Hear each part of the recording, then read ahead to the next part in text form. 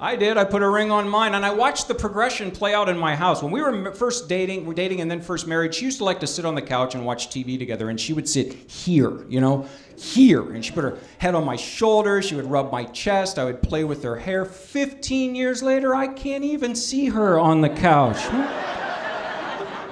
Three nights a week, folks. I think she sits in the yard. And she's just mad down there, you know? I'm not even doing anything, and she's just steaming, just looking at you, annoy the crap out of me when you do all that breathing.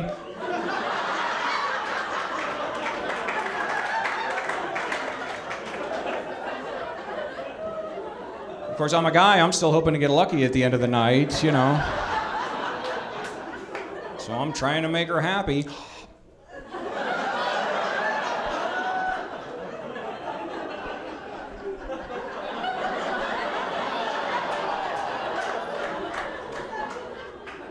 Never works.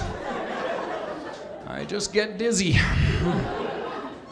She's a great lady, she really is. She has magical powers, I should tell you this. She has this stuff, I call it the magic wife dust. All wives have a stash of this powerful magic dust I have learned over the years, and you can do many things with it. And she does, but what she loves to do most is sprinkle the magic wife dust on a word. Then she speaks the word, and then the word magically changes meaning. Like the word we, W E, that means you and I, right? We do something together. Both of us, right? Wrong. Mm-mm. She changes. She sprinkled the wife dust on it. She says things like, We need to cut the grass.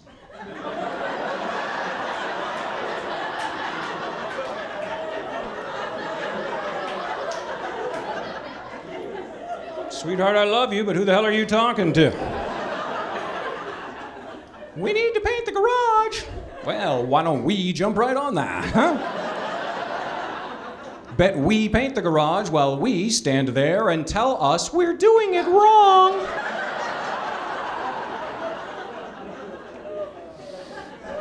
I make fun of her, but I don't know what I would do without her. I really do. I don't know what I would do without her. I, she's a fantastic part of my act. I know that. You know.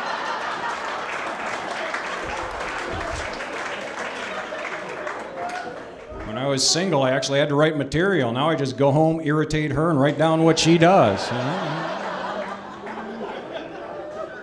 I know a lot of guys say this next part. I don't know if they mean it, but I do. My wife is more beautiful today than the day we met, and it is not even close, man. It's not even close. She looked like crap that day. That was. I'll say I'm happily married. Single guys will come up to me after the show and say, I'm glad you're happy, but I don't want to get married. I don't want to have sex with the same woman every night of the week. don't worry, Junior, you won't. You guys have been a lot of fun. Thank you for coming out. Enjoy the rest of the show.